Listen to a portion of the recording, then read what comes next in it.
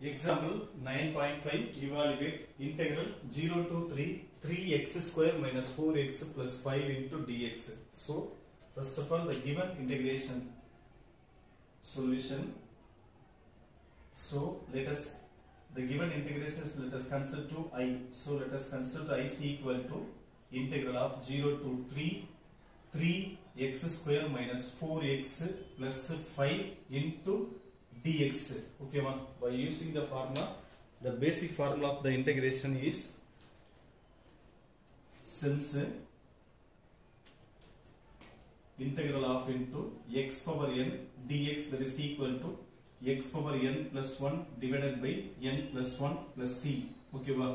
that is the formula of the integration by using first split up the integration for the three part so that is equal to integral of 0 to 3 3 into x square into dx the first part next minus integral of 0 to 3 4 into x into dx that is the second part next one plus integral of 0 to 3 5 into dx okay wow. so this, this is a constant is going to outside so that is equal to 3 into integral 0 to 3 into x square into dx minus 4 into integral 0 to 3 into x into dx plus 5 into integral 0 to 3 into dx. Okay one.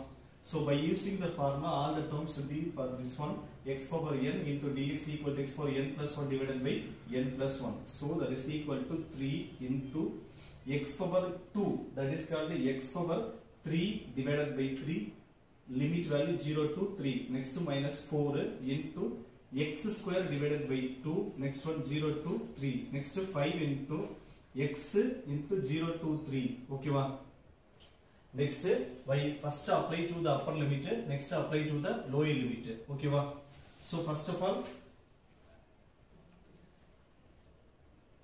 is equal to 3 3 cancel so this one is equal limit first upper limit upper limit means 3 3 the whole square minus so next lower limit okay so upper limit lower limit first upper limit apply பண்ணிட்டு next lower limit apply பண்றதுக்கு முன்னாடி compulsory minus போடணும் that is the important upper limit then lower limit by using the second fundamental theorem okay வா integral a to b f of x dx that is equal to f of b minus f of a that is the formula that is the theorem by using minus this one cancel to 2 so 2 into the upper limit is going to 3 3 the whole square minus lower limit is 0 next 5 into.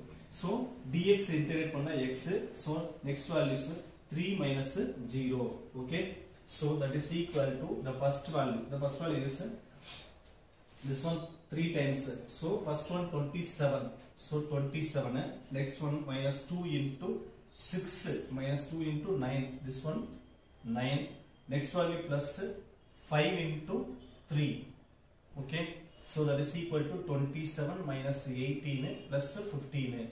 Okay, that is equal to 42 minus 18 is equal to 24. So therefore, integral of 0 to 3 into 3x square minus 4x plus 5 into dx that is equal to 24. Okay.